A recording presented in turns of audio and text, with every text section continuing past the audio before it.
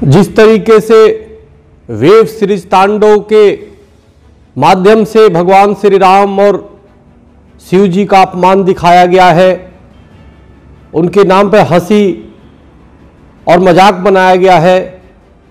ये पूरे देश और विश्व के सनातन धर्म हिंदुओं के सबसे बड़ा अपमान है। मैं केंद्र सरकार से और सूचना मंत्रालय और सूचना मंत्री जी से मैं निवेदन करना चाहता हूँ कि और गृह मंत्री अमित शाह जी से निवेदन करना चाहता हूँ कि इसके बनाने वाले जितने लोग हैं, इसके फ़िल्म में काम करने वाले जितने लोग हैं, इस हिंदू सनातन धर्म के अपमान करने वाले जितने लोग हैं, उन तत्काल को, तत्काल उनके खिलाफ कठोर कार्रवाई करते हुए उनको गिरफ़्तार किया जाए और वेब सीरीज़ पे प्रतिबंध लगा, लगाया जाए। अखिल भारत हिंदू महासभा और संत महासभा पूरे देश में वेब सीरीज़ के खिलाफ आज से धरना प्रदर्शन आंदोलन और ज्ञापन देने का काम करेगी और ये तब तक चलता रहेगा जब तक इन पर कठोर कार्रवाई नहीं होती, वेब सीरीज़ पे प्रतिबंध नहीं लग जाता, ये सलाखों के पीछे नहीं चले जाते।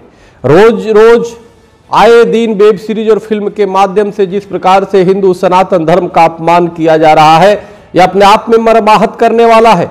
और सबसे बड़ी चिंता, केंद्र में प्रचंड बहुमत की सरकार मोदी जी की है और उसके बावजूद भी इस तरह के अपमान हो रहा है, ये अपने आप में हतप्रस्त करने वाला है, आश्चर्यचकित करने वाला है, अपने आप को बहुत ठेस पहुँचाने वाला है।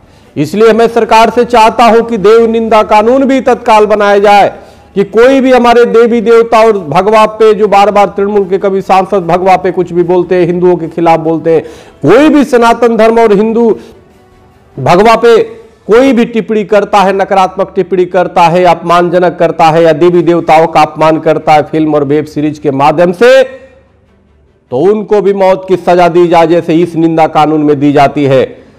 तभी जाकर के सबकी भावनाओं का सम्मान होगा। कहीं ना कहीं ये लोग जानबूझ करके हिंदू और सनातन के खिलाफ जहर उगिलते हैं ताकि इनको राजनीतिक लाभ मिले, जिससे हिंदुओं को ठेस पहुँचता है। संविधान हमें अधिकार देता है कि ऐसे लोगों पे कार्रवाई होनी चाहिए जो धर्म और भावनाओं को भड़काने का काम कर रहे हैं। तो वेब सीरीज़ के माध्यम से धर्म पे कुठाराघात किया गया और उसी के साथ जिस प्रकार से दलित और सवर्ण का एंगल दिखा करके सवर्ण लड़कियों का बदनाम करने का प्रयास किया गया है यह भी बहुत चिंताजनक है। समाज को तोड़ने वाली ये महिला नारी शक्ति जिसको कहते नारी का बहुत बड़ा अपमान है, जिस प्रकार से जातीय भेद उसमें दिखाया गया है।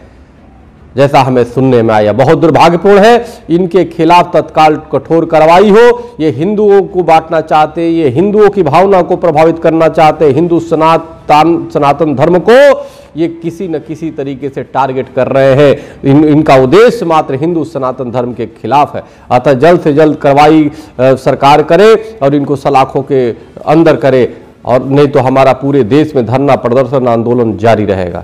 हरिओम राम राम।